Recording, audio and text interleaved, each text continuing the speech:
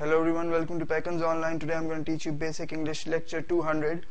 Past perfect negative negative मतलब past perfect के अंदर negative form को देखना है हमने अब देखना है कि helping verb कहाँ पे है कि इसको उलट बनाना है तो subject plus not helping verb के बाद we had not eaten food ठीक है